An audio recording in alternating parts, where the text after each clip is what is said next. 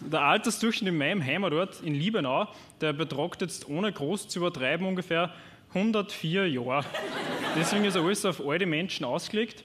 Im Sommer gibt es zum Beispiel immer so Ferienpassaktionen, speziell für Senioren. Haben sie immer total liebe Aktionen dabei. Letztes Jahr im Sommer, da haben sie zum Beispiel alle gemeinsam einen Sarg geschnitzt. Also jeder seinen eigenen.